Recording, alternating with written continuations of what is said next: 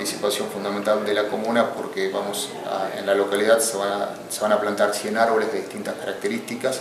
y eso bueno, de alguna manera nos va a permitir y van a ser apadrinados los árboles, cada chico va a un árbol para el nombre de cada chico, para cada chico yo una, hoy tiene yo cuatro o cinco años, cómo se va a ver ese árbol cuando él tenga más años y que también el cuidado al árbol, ya que un árbol lo representa también a él, un montón de cuestiones que son interesantes y que hace al cuidado del medio ambiente y a la forestación. Y por otro lado, un tema muy importante, como lo planteaba Walter, eh, que es trabajar con respecto al tema de la prevención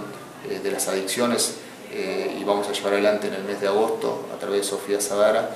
un taller, un taller primero para, para adolescentes, que lo vamos a hacer en el transcurso de la mañana, un taller que dura cuatro horas, que es muy importante, porque lo decía en la nota anterior, no habla de la apología a las sustancias, sino lo que habla el taller es de alguna manera cómo prevenir al individuo para que ese individuo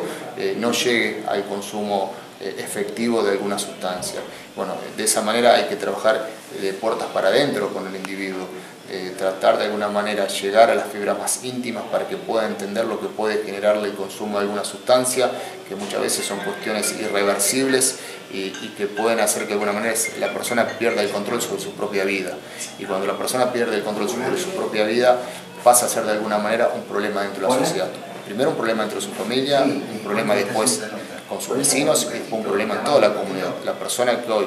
está bajo una abstinencia de sustancia puede generar de un accidente de tránsito hasta un delito, hasta un asesinato, con tal de poder eh, saciar esa necesidad que tiene.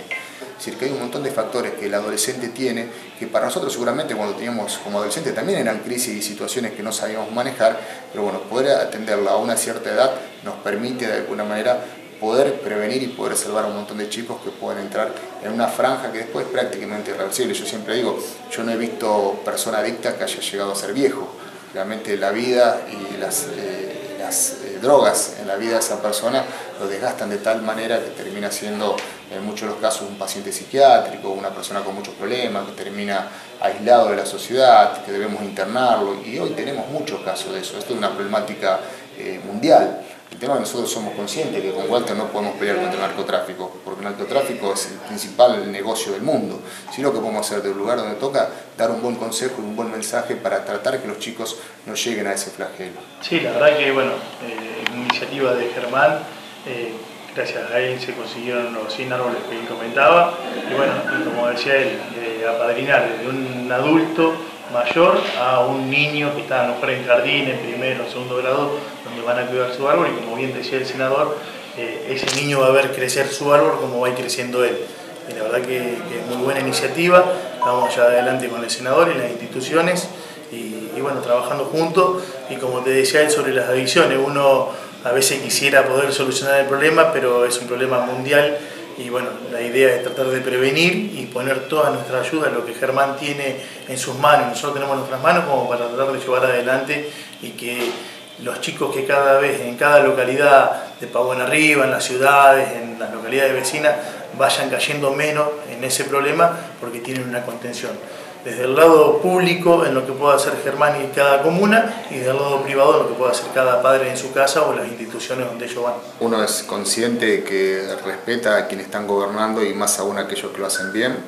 Eh, uno apoya esas candidaturas aquellas personas que hace mucho tiempo llevan adelante la administración comunal, lo hablaba hoy con miembro de la comisión comunal, es una comuna la cual no tiene ningún tipo de déficit, tiene una administración eh, muy prolija y de cara a la comunidad y muchas veces hacer cambios en estas situaciones hacen que muchas veces los proyectos y las ideas que se están llevando adelante no las puedan concluir aquellos que quieren gobernar. Yo considero que cada persona que, tiene, que quiere gobernar una localidad tiene que tener la capacidad y el conocimiento para hacerlo.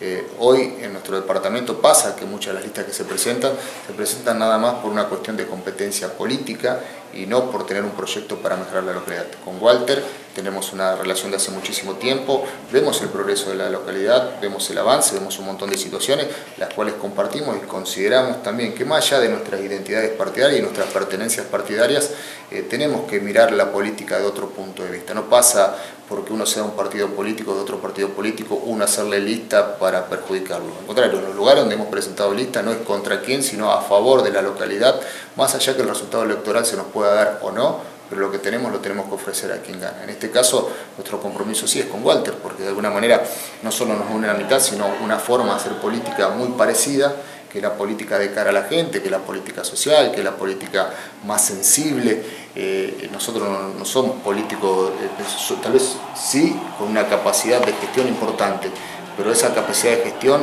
tratamos de hacer políticas sociales, políticas de integración, de inclusión, y las llevamos adelante permanentemente. Entonces, bueno, es, eh, un placer poder compartir un espacio en común de lo que va a ser acá las elecciones, y más aún aunando criterios para distintos tipos de actividades. No es una cuestión de venir a decir, mira, te voy, te vamos a estar juntos, pero si vamos a estar juntos, eh, ¿por qué? Porque vamos a hacer esto, esto y esto y esto. Que eso es lo importante, el compromiso acompañado de gestión y acompañado de ideas y de proyectos. Creo que el gran ganador de esto es el pueblo de Pavón Arriba.